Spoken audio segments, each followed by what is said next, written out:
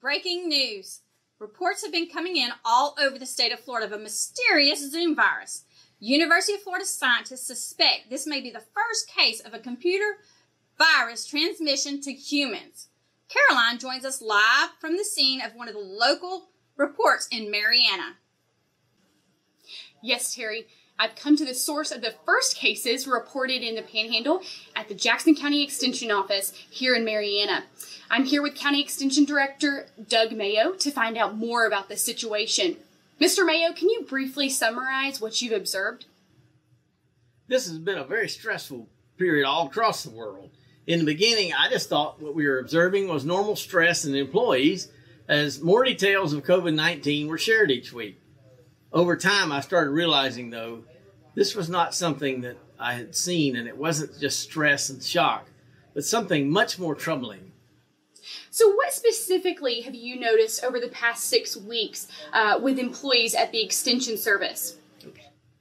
Early in March, as we learned more about the pandemic, employees just looked stunned and overwhelmed.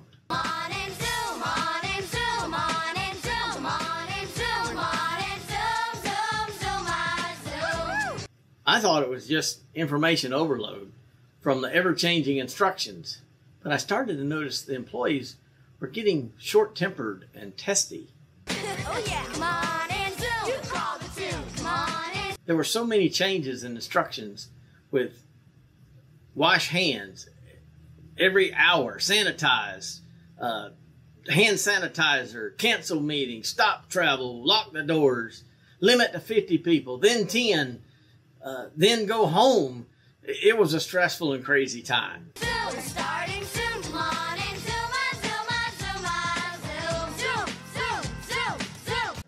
Well, a lot of us were stressed and crazy during those first few weeks.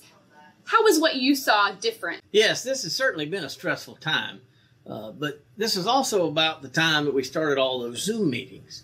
There were statewide leadership meetings, then regional, then county, even staff meetings with people working from home. Then came the shift to changing the way we do business. No in person meetings, avoiding public contact, only interacting through multiple Zoom computer meetings each day over and over. There were state, regional, county, team, staff meetings, and even county level uh, staff meetings, and people working from home. My staff started getting withdrawn, frustrated, and then strangely quirky. One of the strangest things was they all kept humming and singing this crazy song. I think it's the theme song from a 70s show on PBS.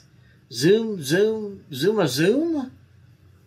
This is when I suspected something else was wrong. Zoom! Come on and zoom!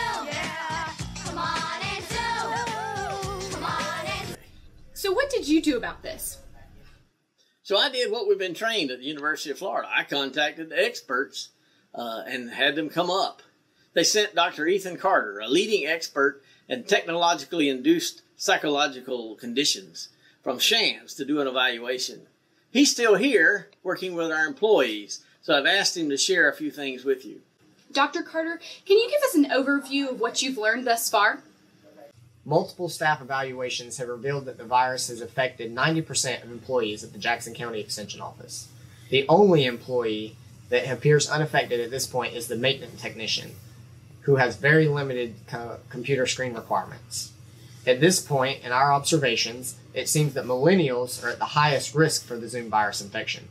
We suspect this is because they have more time each day interacting with technology and screens.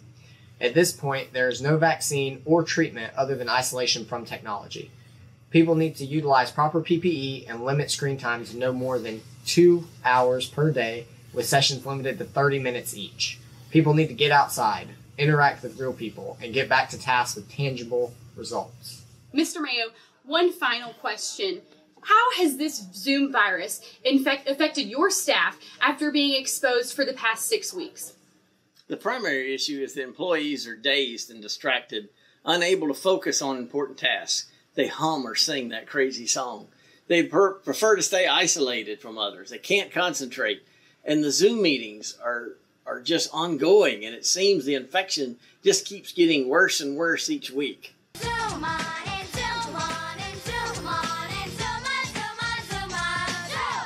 This situation has been reported all over Florida, but as you have seen, nowhere in this state is it more serious than right here in Jackson County.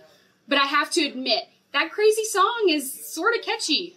Zoom, zoom, zoom, zoom. Morning,